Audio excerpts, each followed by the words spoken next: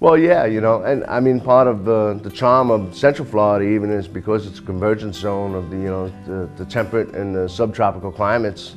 And, uh, you know, with the migratory paths of some of these birds, that uh, this ends up being, you know, the place where they kind of switch places. And uh, so we'll get, uh, you know, a good number of wintering birds, um, as well as a good number of, you know, migrants that just happen to be passing through.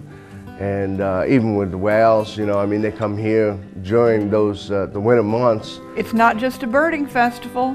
The 15th Annual Space Coast Birding and Wildlife Festival, presented by the Brevard Nature Alliance, provides numerous birding opportunities, but also a load of other wildlife adventures. Scheduled for January 25th through January 30th, 2012, this nationally recognized festival provides activities for the adventurer and all of us. This past January, uh, we got to see a lot of uh, North Atlantic right whales and even a humpback whale, um, as well as uh, some sea turtles. Um, and, and even on land, of course, you know, when you come back to Titusville and all the surrounding area, we have gopher tortoises, you know, the Florida gopher tortoise, and, uh, and a variety of reptiles and amphibians, uh, as well as mammals. You can learn about pelagic birds and more in the classroom and then follow through with an offshore trip. This, like many other field trips and classroom presentations, offers a variety of activities.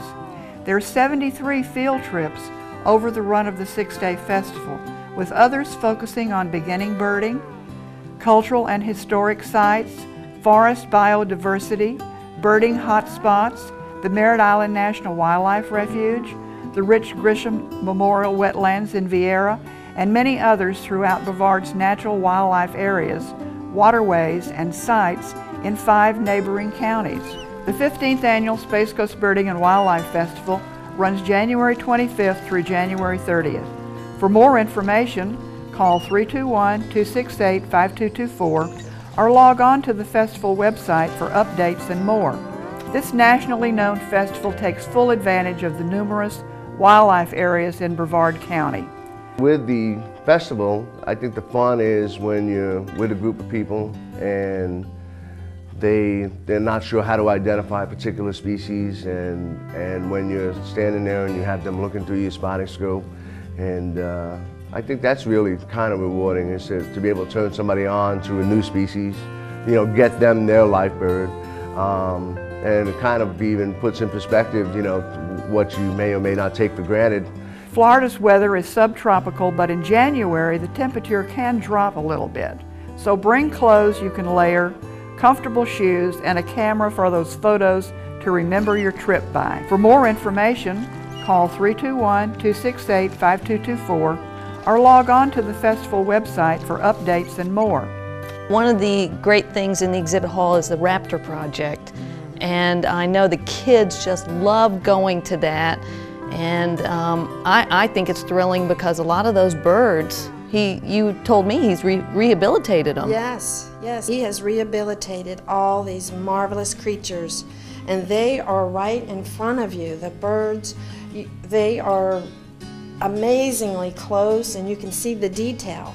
If you're in Brevard the weekend prior to the festival, plan to attend Rendezvous with the Raptors a one-on-one -on -one with Jonathan Wood and his rehabilitated birds that's happening at the Brevard Zoo. This event is a fundraiser for the festival, so visit the website to learn more.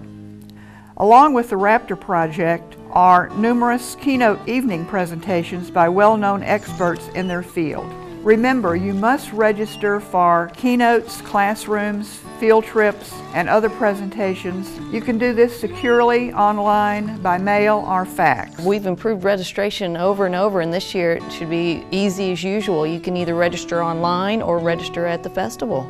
And as I understand, the majority of people are doing the online registration. Right. So that when they arrive to the event, they can get right in and go to classes and participate on the field trips and enjoy the exhibitor hall. Just a few of the trade show highlights include many nature-based exhibitors, a silent auction, and of course the Raptor Project. For the explorer and all of us, the 15th Annual Space Coast Birding and Wildlife Festival offers workshops, classes, and field trips that will show you the natural areas and animals you've seen or will see during your trip to the Florida Space Coast. Everybody's so accommodating at this festival.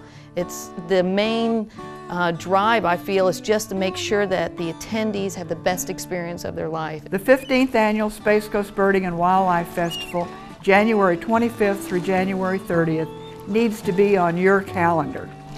Call 321-268-5224 or log on to the festival website for updates and more.